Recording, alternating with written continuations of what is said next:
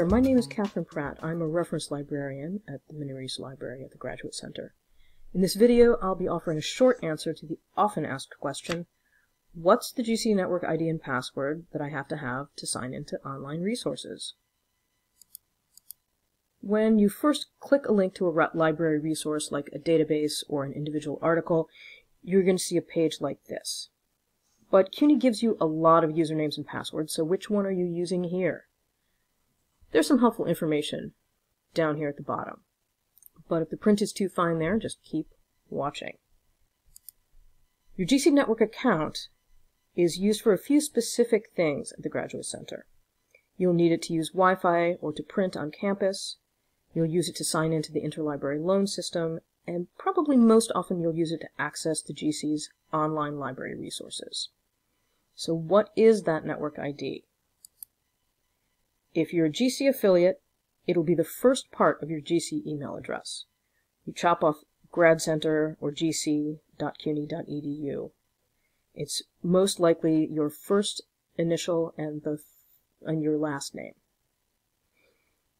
Uh, if you demonstrate with a sort of fanciful example, if your name is Je suis une personne, your email address is j une personne at gradcenter.cuny.edu, and your network is j une personne. The only time that will be different is if there's already a Jean une personne at the, grad at the grad center, in which case we'd add a number. It might be J une personne 2. Note that this is not the same for SLU students and staff. Your Graduate Center Network ID is your EMPLID, that eight-digit number that CUNY assigns you. So now, what is your password?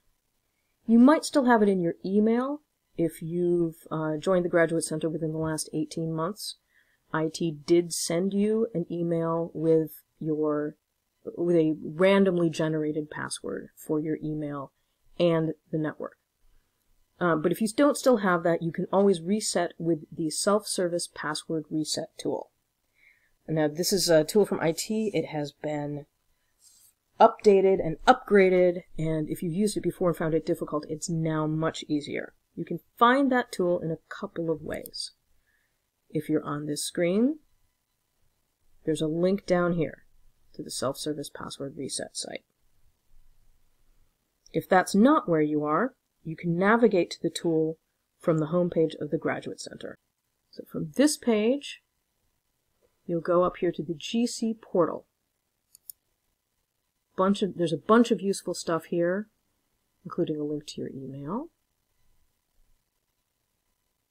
But here is the self-service password reset. Now, if you're an SLU affiliate, you can't use that tool. You, you'll need to contact SLU's IT department directly. An important note for GC students, again, not for SLU students, Resetting your network password also resets your email password. So you'll need to update your email password when you reset your network password. If you still have a password or username problem, it probably goes beyond what you can manage yourself. So contact your respective IT services. If you have other questions about the library, come to the library site and ask a librarian or you can check out our other videos and resources.